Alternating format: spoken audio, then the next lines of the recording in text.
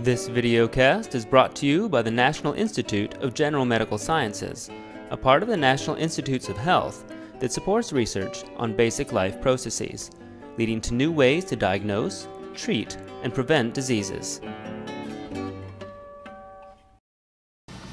Dr. Sarah Tishkoff is a geneticist at the University of Pennsylvania. She studies genes from humans that have changed over time. She focuses her work in Africa, where humans have lived for the longest amount of time. And so by looking at people living there today, she can get the most complete record of how human genes have changed over time. Dr. Tishkoff, why is it important to study how the human genome has changed over time? Well, by studying variation in modern populations, we can make inferences about past demographic and evolutionary events. So if we want to learn something about when and where did modern humans evolve, and learn more about the um, origins of different populations. So if we want to understand why some diseases are more common in certain populations than others, we can use evolutionary approaches to I, try to identify uh, genetic variants that play a role in disease.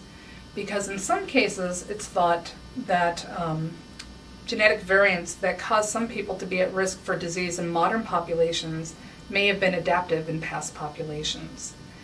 So, for example, in hunter gatherer populations that went through periods of fasting or famine, it may have been advantageous to have a genetic variant that enabled them to store fat or to have a um, very rapid um, increase in sugar in their blood.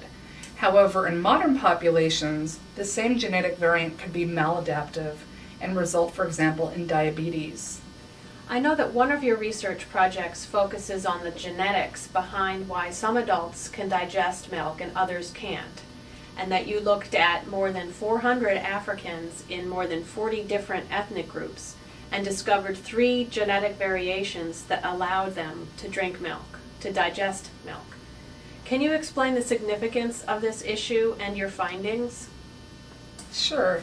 Well, humans are unique in their ability to digest milk as adults because in most mammals, um, the enzyme called lactase, which is expressed in the small intestine, is um, shut down after weaning, so in humans at around age two to six years old. And in individuals who can digest milk as adults, this enzyme is kept active, and it plays a role in um, metabolizing the sugar present in milk called lactose. So the majority of humans cannot digest milk. However, in populations whose ancestors have historically practiced dairying or domesticated cattle and are pastoralists, um, they have adapted the ability to digest milk as adults. So um, those individuals who can digest milk are referred to as lactose tolerant. And lactose tolerance is most common in Northern European populations, such as the Finnish population, less common in uh, Mediterranean populations, and very uncommon in East Asians, Amerindians, and West Africans.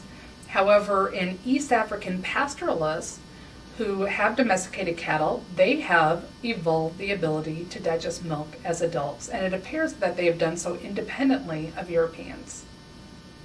Can you tell me the role that computers play in your research? Sure. Well, computers play a critical role because what we do is we study variation in modern populations and we have to make inferences about past events.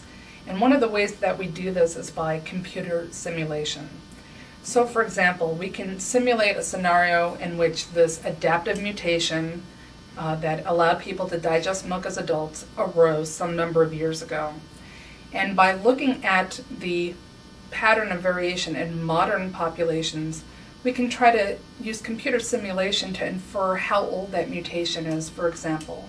And we can also infer how strong the selective force must have been to uh, make it reach the frequency that we observe it at in modern populations. We estimate the mutation, the most common mutation that we found in East Africa, to be roughly 3,000 to 7,000 years old. And we estimated the mutation in Europeans to be roughly 7 to 9,000 years old. And that was interesting because archaeological data suggest that the origins of pastoralism were either in North Africa or the Middle East, roughly seven to 9,000 years ago. But cattle were not introduced south of the Sahara due to arid conditions until roughly 5,000 years ago. And then they were introduced more recently into southern Kenya and Tanzania around 3,000 years ago. So it fits strikingly well with our estimates for the age of this mutation. This mutation had to have occurred. And simultaneously or coincidentally in that population, they had developed a new technology which was domesticating cattle. Those individuals who by chance had that mutation were better able to digest milk as adults. And this gave them a selective advantage. They were able to have more children, and their children had more children, and so on. And so it rapidly rose in the population um, together with the practice of pastoralism. Dr. Tishkoff, I know that you have taken a number of trips to Africa over the past 10 years. Can you tell us about some of the adventures that you had in Africa? Sure. we had many adventures. Um, when we first started doing this research, I had never done field work before, and I was not certain of things such as where am I going to sleep? Um, how am I going to get to these remote villages? How am I going to process the blood to isolate the DNA in regions where there's no electricity. And we came up with creative ways to deal with this. So we brought all of our own equipment, we brought our own sleeping bags, we brought our own tents, or sometimes we stayed at guest houses in villages.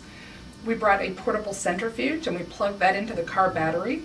And so we could um, have our own little uh, genetics lab anywhere in Africa, no matter how remote the region. So one of the wonderful things of working in that region is interacting with the local people and and learning about these fascinating cultures and um, uh, working with different tribes such as the Maasai, for example. But it also can be at times somewhat uh, dangerous depending on the region that you go to. But again, I think the key to success is involving local people in the research and having local participants. And as long as uh, the people that are um, that we are studying are included in the research, we've generally had no problems at all. Thank you, Dr. Tishkoff. Best wishes on your research and happy trails on your next trip to Africa.